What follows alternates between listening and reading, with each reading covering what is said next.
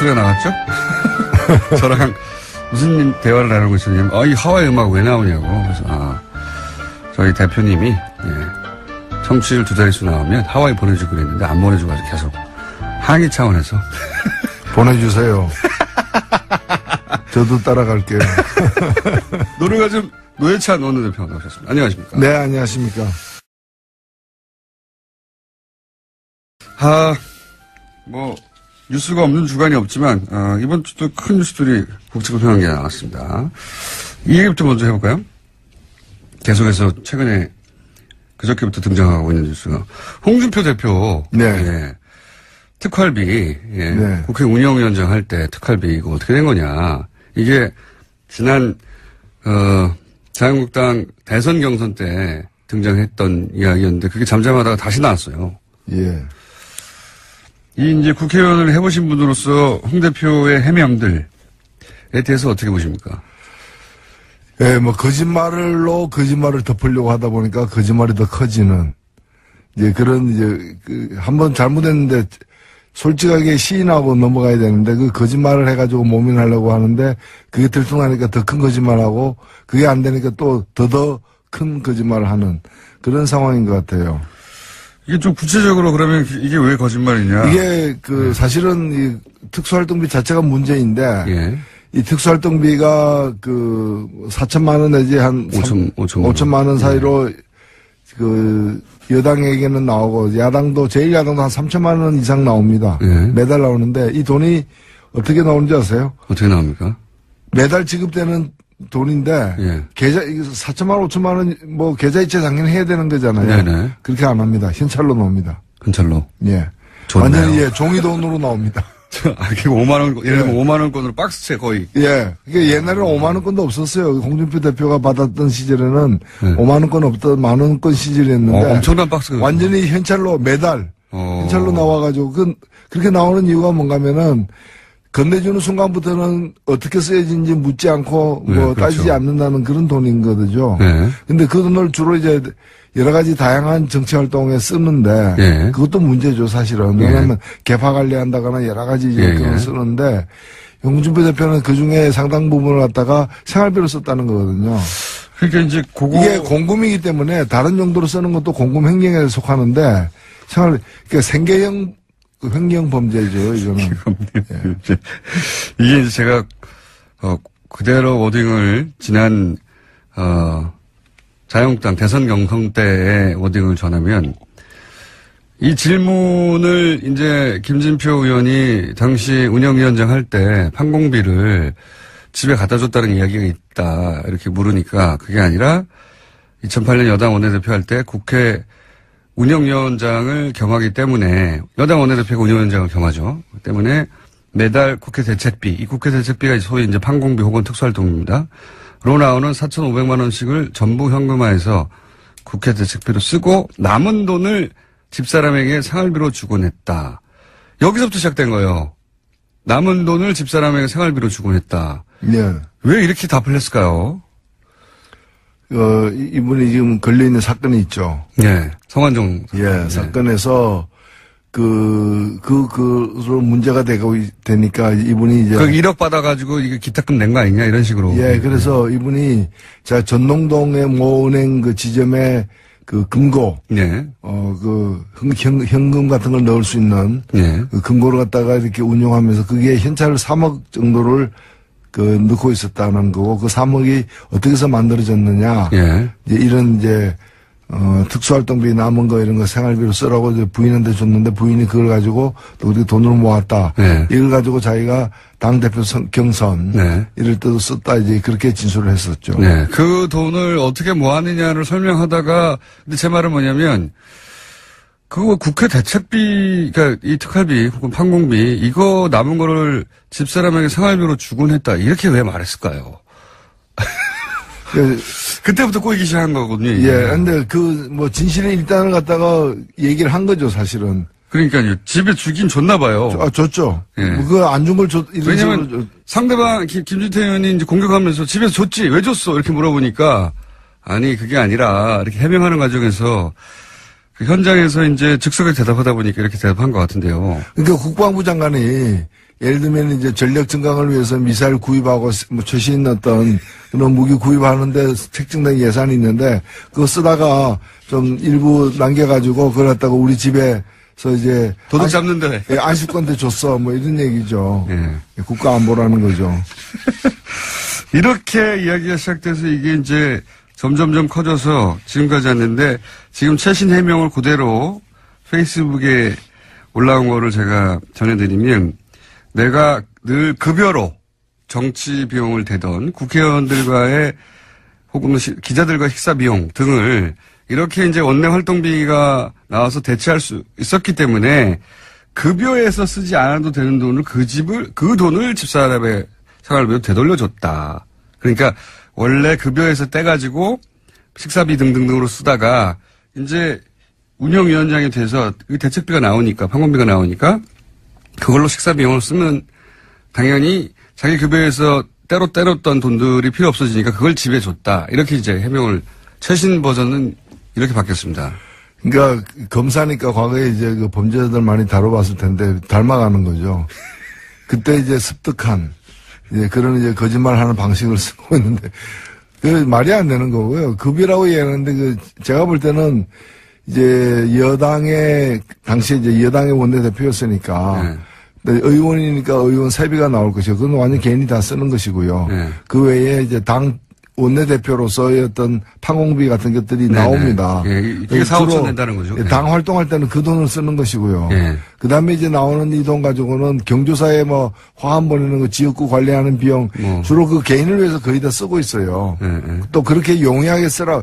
왜 현찰로 줬는가 하면은 현찰로 달라고 했기 때문에 제가 알아봤어요. 국회 사무처에다가. 음. 이거 왜 현찰로 주는 이렇게 그 큰 거액을 하니까 돈 받는 사람들이 그렇게 달라고 해서 그 굳어졌다는 거예요. 음, 오래전부터 그렇게. 오래전부터. 굳어져, 굳어진 거기 때문에 그럼 돈 발라, 돈, 그 받는 사람들이 왜 그렇게 달라고 했는가. 어차피 이걸 갖다가 이제 밝히기 힘든 용도에 주로 쓰고 있기 때문에 그냥 이제 자국이 남는 음.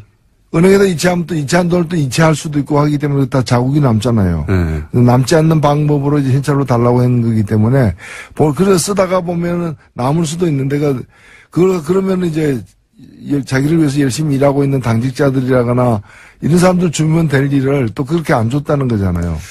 그렇게 보여지는데 본인은 부인하고 있습니다. 네. 부인, 본인은 부인하고 있고, 이 마지막 해명도 저는 약간 논리적으로 좀 말이 안 되는 것 같은 것이, 평상시에 급여로 그렇게 식사비를 쓰다가 기자들이나 이런 사람들하고, 이 이제 원내대표가 돼서 이 판공비가 나와서 더 이상 그 돈은 내 돈을 안 써도 되고, 그 판공비 나온 거로 쓸 수 있게 되어서 이제 이 집을 집에다가 급여에서 남아 따로 떼뒀던 그 돈을 돌려줬다는 거잖아요 집에. 근데 그거는 그러면 한 번 있었어야죠. 처음에 그렇죠. 판공비 한 번 나올 네. 때. 그다음부터 판공비가 계속 나오는데 따로 떼놓을 필요가 없지 않습니까 그다음부터는. 그러니까 여하튼 결과적으로 보면 계속 그 집에다가 그 집에다가 돈을 줬는데 예, 주곤 했다고 했으니까. 예, 줬다는 걸 갖다가 시인하는 거고 그 돈이 이제 한 번 정도는 이제 그 처음에는 이제 자기 급여로 줬는데 나중에는 이제 급여로 쓰던 어떤 기자들 접대비나 이런 것들을 갖다가 이제 특수활동비로 하게 되면서 남는 돈을 집에다 줬다. 이런 식으로 둘러치고 있는 거죠. 아, 좀 말이 꼬여가지고요. 예. 사실 이 문제를 이게 만약에 검찰이 수사 대상으로 삼으면 이거 크게 문제될 수 있지 않습니까? 예, 뿐만이 아니고 이, 이분이 이제 변명을 하는 과정에서 그 야당 대표들에게도 줬다 원내 대표들에게도. 뭐 기억에 착오라고 그래서 이제. 예. 워- 그 원행 어, 원내 대표 이런 분들이 이제 발끈해 가지고 이거 조사를 제대로 해보자 이제 이렇게 얘기를 하고 있는 거죠. 그건 물러섰어요. 기억의 착오라고. 뭐 기억의 착오가 있을 수도 있죠. 존재 자체가 착오죠, 사실은. 존재해서는 안 되는 분이 존재하니까 생기는 문제입니다. 아니, 존재자가 착오라기보다는 이제 당 대표로서는 존재하지 않아야 된다고 예. 이제 정치적 주장을 하신 거죠. 인간으로서 그렇게 말하면 안 되는 거 아니겠습니까? 아, 제가 뭐, 이- 그렇죠. 정치적으로 문제라는 거죠. 뭐, 생물학적으로 예, 제가 어떻게 시인의 뜻인데, 거기다 자, 개입을 하겠습니까? 아, 이게 큰 문제로 될 수도 있다. 예. 될- 평상시라면 큰 문제로 발전할 수도 있는데 지금은 워낙 큰 문제가 많기 때문에 지금 네. 묻혀 있는 거죠. 워낙 큰 문제가 많아서. 그리고 이제 어제 있었던 굉장히 큰 어, 정치권의 주목을 받은 사안 중에 하나가 이제 국민의당 끝장 토론입니다. 네. 바른정당에 대해서는 아 바른정당은 사실상 분당 수준으로 갈라질 것 같다라고 노르가즘에서 어, 그 일이 있기 한참 전부터 말씀하셨는데 국민의당은 어떻게 전망하십니까? 예, 뭐 날이 춥기 때문에 뭐 밖에 나가 나가기가 쉽지는 않죠. 그렇죠. 예. 예. 게다가 어, 민주당 이렇게 바른정당은 자유한국당에서 오라고 오라고 한 건데 지금은 민주당이 오라고 오라고 하는 상황은 아니거든요. 예. 그 국민당에서 나간다고 전혀 아니죠, 사실은. 나간다고 갈 데가 있겠느냐 하는 자신감도 안철수 대표에게 있는 것 같고요. 예. 그렇죠. 그렇습니다. 근데 네. 여기가 못 나가겠거니. 사실 국민 우리가 이제 이 국민의당이 어떻게 해서 만들어졌느냐 지난 대선 때문에 만들어진 당이죠 사실은 대선 때 이제 당 내에서 경선 등의 여러 방법을 통해 가지고 대선 후보가 어, 되기 어렵고 또 그런 상황을 감수하기 싫은 분과 그 세력들이 이제 뛰쳐나와서 이제 다른 방식으로 대선에 도전해서 만든 당이기 때문에 사실 5월 9일 지난번 대통령 선거가 끝난 이후로는 이 당의 어떤 존재할 어떤 원동력이 상실된 거예요. 다른 동력을 찾아야 되는 거죠. 네. 예, 근데 그 다른 동력이 이제 다시 한번 대선에 내가 도전하겠다는 건데 이제 이 당은 이제 지난번 대선 때 안철수 대표가 그 대선 후보가 되는데 동의하는 세력들이 모인 거 일시적으로 모인 거였기 때문에 다음 대선은 그 합의상이 아니었던 것이죠. 음, 음. 어, 그렇기 때문에 다음 대선 앞두고는 그 안철수 대표가 계속 대선 홍보로 가는데 동의하는 사람과 그렇지 않은 사람으로 나뉠 수밖에 없기 때문에 음, 크게 길게 보면 예, 이 분열은 예. 뭐 예정된 분열이라고 저는 보는 것이고 그런 적이 없다. 일종의 이제 그러면 언제 어떻게 헤어지느냐의 문제만 남았는데 예. 이게 거의 뭐 처음에는 몰랐지만 나중에 알고 보니까 활성 단층 지대에 이제 있는 거죠. 단층이 활성화되어 있다는 거는 판명이 됐는데 언제 어떤 식으로 이제 균열이 되고 쪼개지느냐만 남은 그런 상황이죠 지금. 요약하면 국민당 자체가 문재인 그러니까 민주당에서 대선 후보가 문재인 어, 당시 후보를 제치고 되게 어렵다고 판단한 어, 세력들이 뭉쳐서 만든, 만들어진 정당이다. 이렇게 규정을 하신 거고. 근데 이번 대선까지는 그랬는데 다음 대선도 그럼 안철수냐 여기 대해서 동의하느냐 아니냐로 가지고 크게 난리는 수밖에 없다. 왜냐면은 다음 대선을 갖다가 자력으로만 될 수 없기 때문에 다른 세력하고 손을 자, 잡으면서 이제 시도를 해야 되는데 네. 누구하고 손 잡느냐에 따라서 호불호가 다 갈리는 거죠. 네. 대해서 서로 간에 합의된 바가 없고 또 그 일치된 어떤 한 방향으로 합의되기가 어려운 지금 상황이지 않습니까? 그렇기 때문에 계속 가는 것은 불가능하다고 저는 보여집니다. 시기의 문제다. 네. 그런 거죠. 당장은 아니어도 시기의 문제다. 근데 안철수 대표가 어제 끝장 토론에서 했다는 말로 옮겨보자면 지방선거에서 2등을 통합을 하면 바른정당과 할 수 있고 그렇게 되면 자유한국당은 사그라들 것이고 그리고 문재인 정부의 실정도 있을 거였기 때문에 결국은 우리가 일당이 될 수 있다. 이 말은 결국은 바른정당과 합치고 그런 다음에 지방선거 이후에 자유한국당이 성과를 못 내면 그 당 안에서 이 당으로는 다음 대선이나 다음 총선이 어렵겠다고 생각하는 사람들이 떨어져 나올 것이고 그러면 그들과 또 합쳐가지고 일당 수준으로 커질 수 있다. 그러니까 바른정당과 합치고 그다음에 자유한국당 일부하고 합치는 이런 그림을 안철수 대표는 그리는 것 같아요. 예, 예 확실하게 그렇게 돼 있는 거죠. 예. 그러니까 왼쪽으로는 이제 더 이상 이제 뭐 더민주당 지지 세력이라거나 그다음에 그 이외의 어떤 정의당도 예. 마찬가지고요. 그쪽으로는 뭐 없다. 그런 거죠. 가능성이 없다고 보는 것이고 네. 그 반대 방향으로 어떤 여지가 좀 있지 않느냐고 생각하는 것이고 지금 자유한국당의 다음 대선 주자가 없고 앞으로 생겨날 가능성도 적다. 음. 고 보는 것이고 결국에는 홍준호 대표는 자유한국당을 먹거나 음. 아니면 거의 식문지로 만들어 가지고 지지하게 만들거나 그 방향으로 가고 싶다는 거죠. 지난 대선에서 어, 대선 한 3, 4주 전에 갑자기 지지율이 치고 올랐을 때가 있지 않습니까? 네. 그때 대구 경북을 비롯해서 이제 영남권에서 소위 이제 보수 표밭에서 안철수 대표의 지지가 상당히 높았지 않습니까? 그러다가 나중에 이제 여러 가지 일 때문에 꺾이긴 했는데 그 기억도 가지고 있는 것 같아요. 그 지역이 잠재적인 자신의 지지층이라고. 그렇죠. 그 뭐 시험을 보면 1등 할 때도 있고 2등 할 때도 있고 뭐 10등 할 때도 있고 뭐 그런데 1등 한 기억만 남는 거죠. 좋았던 기억만 가지고서 이제 예. 힘들면 그렇게 됩니다. 힘들면 힘들면 그렇게 됩니다.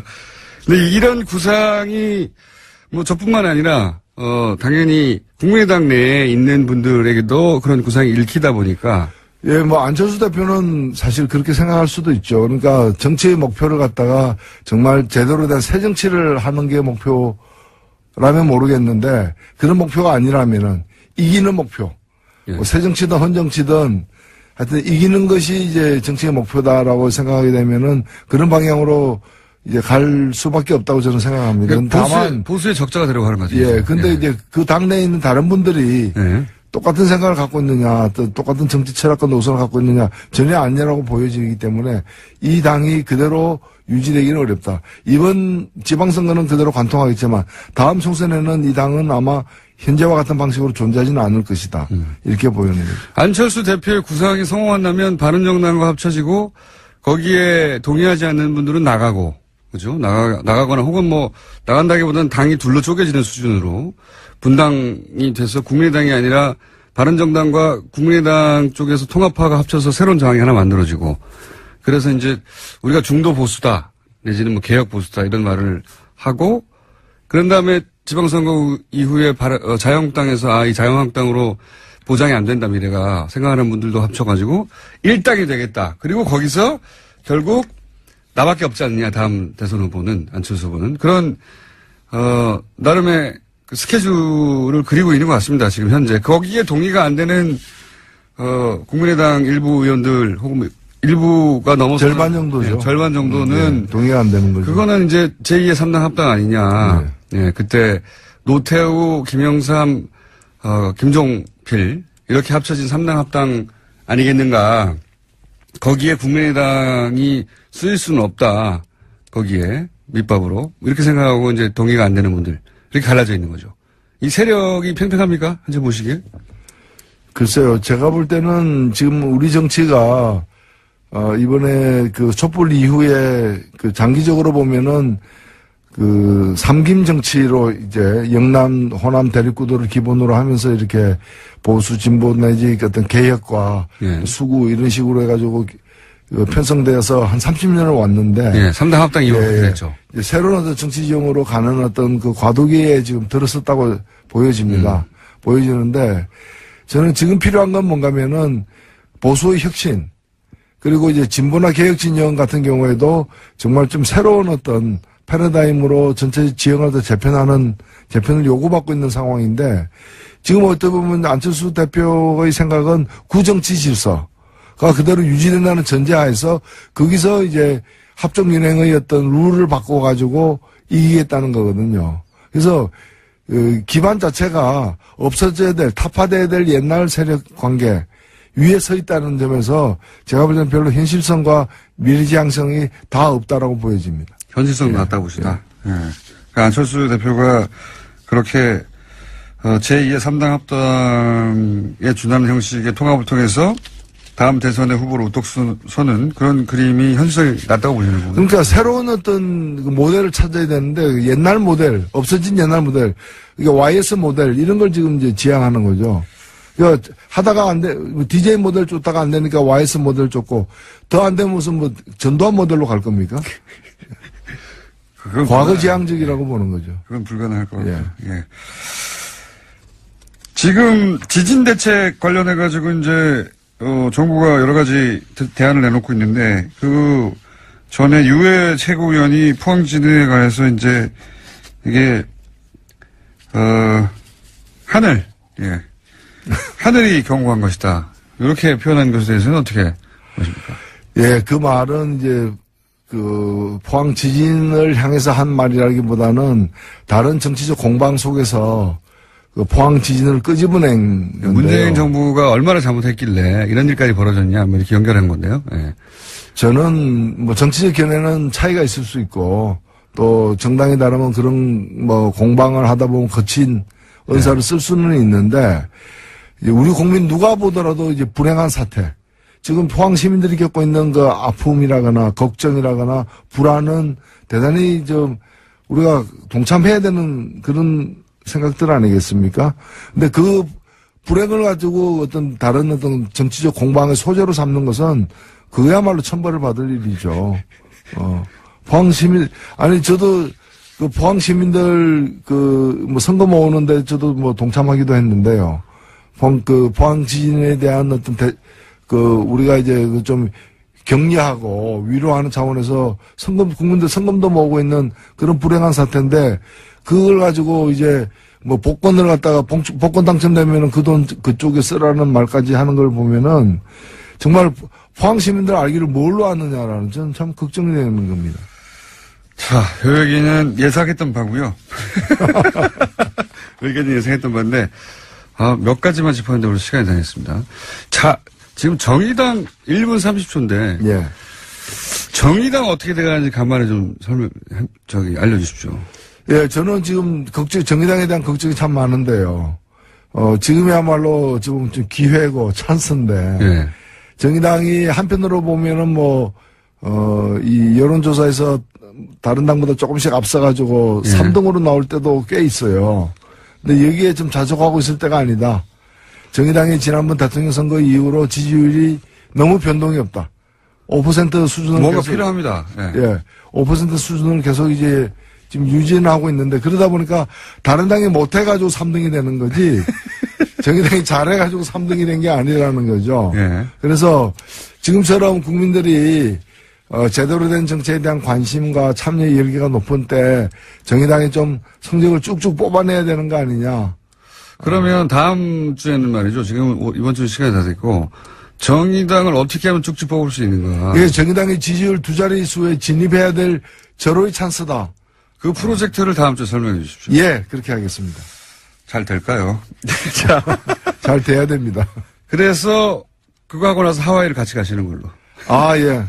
저한 번도 못 가봤기 때문에 한번 가보고 싶네요. 알겠습니다. 대표님 들으셨죠? 네, TBS 대표님께 말씀드린 것 같습니다.